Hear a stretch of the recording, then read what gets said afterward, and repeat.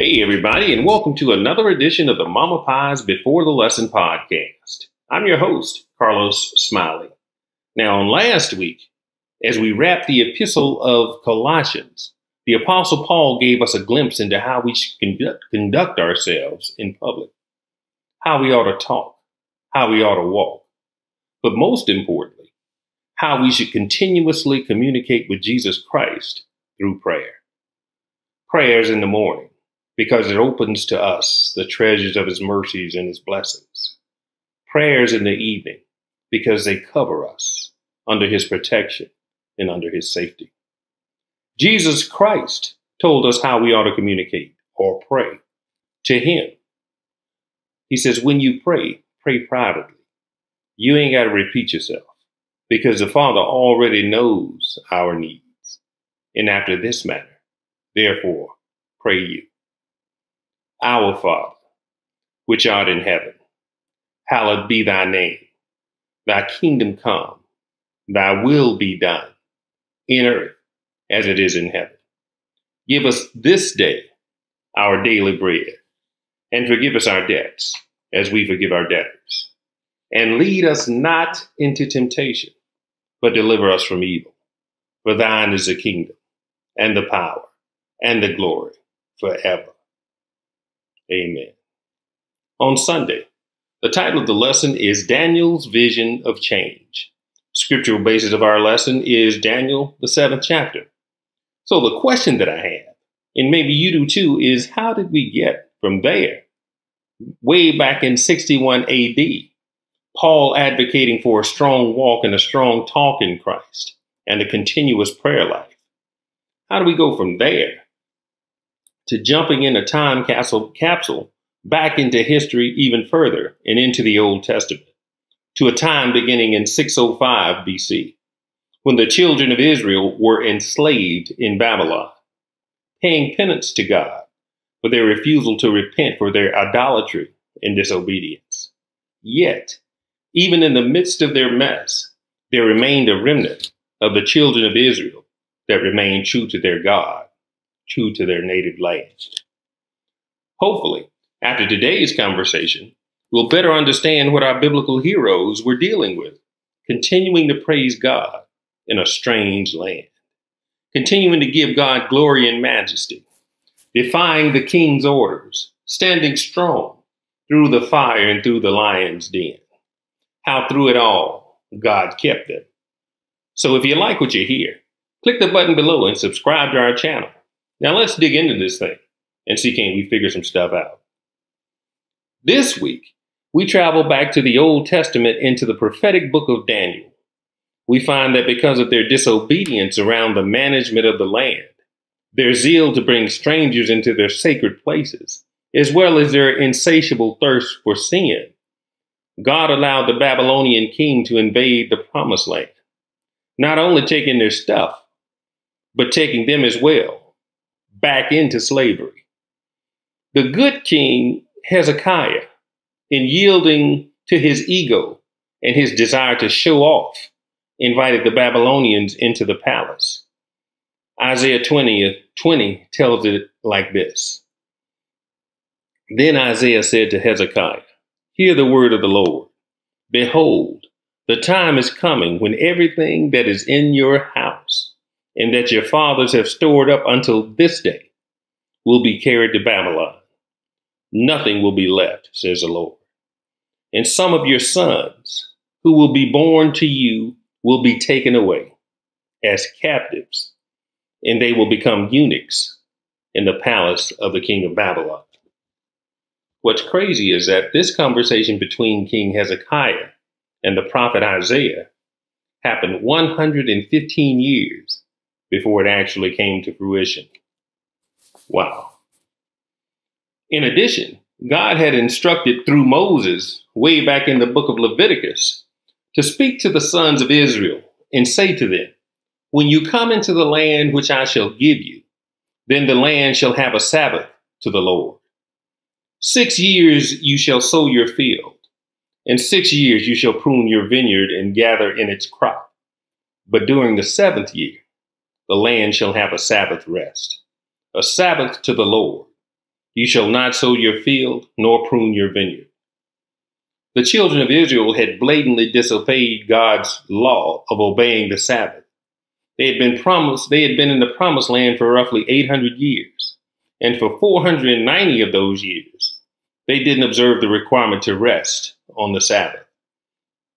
The Sabbath rest was not only every seventh year, but it was every seventh day as well.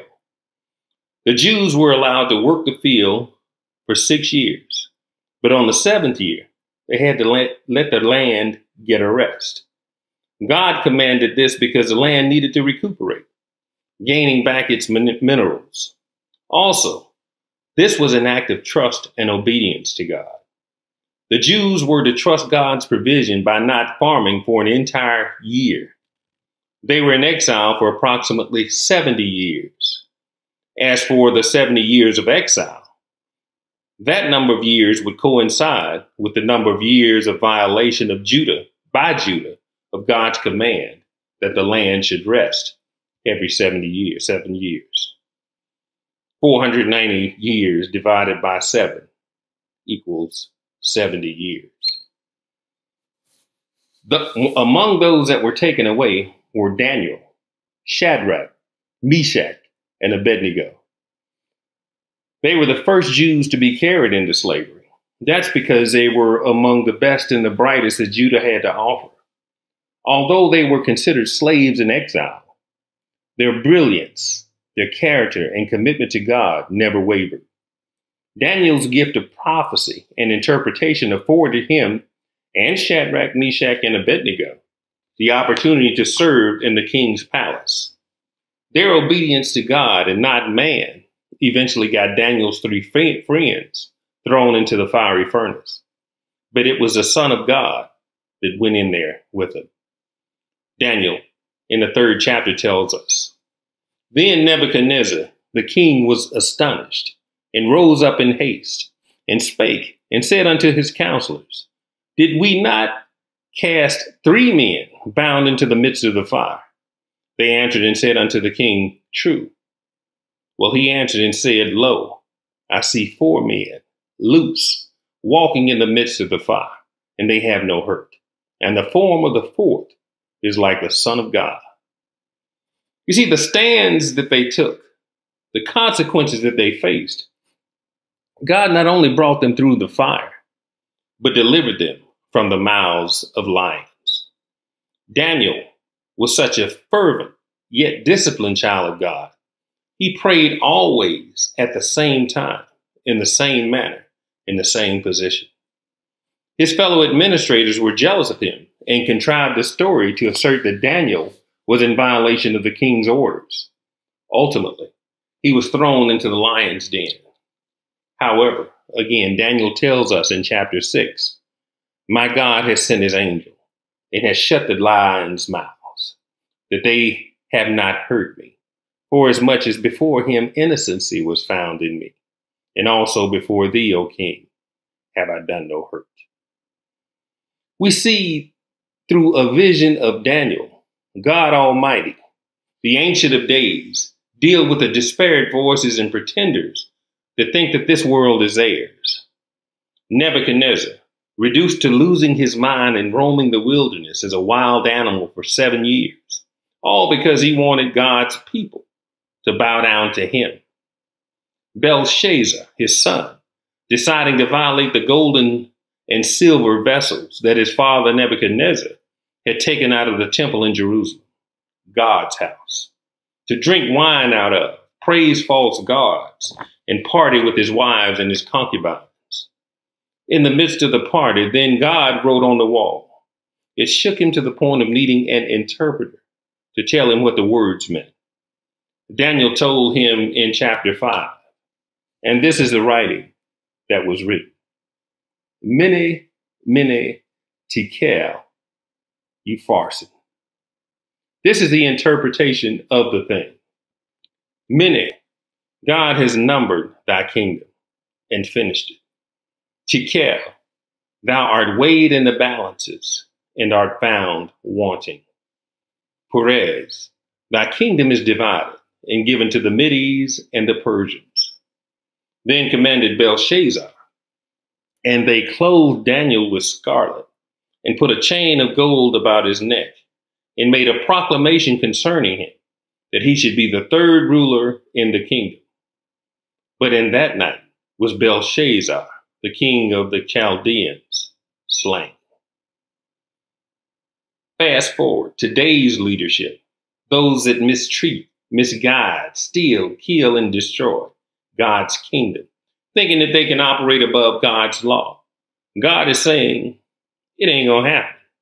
Psalms 37 tells us, the wicked plot against the just and gnash upon him with his teeth. The Lord shall laugh at him, for he sees that his day is coming. The wicked have drawn out the sword and have bent their bow to cast down the poor and needy and to slay such as be of upright conversation.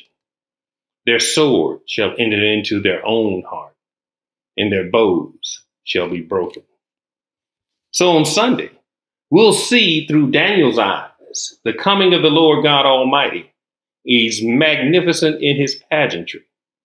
One thing God is unequivocally clear around is that the judgment of any and every person and nation that choose to persecute God's elect, the judgment is coming. God, the Ancient of Days, from his snow white garments to the hair on his head that is like pure wool, shall have the final say. And when he is done dealing, we shall see the Son of Man coming with the clouds of heaven.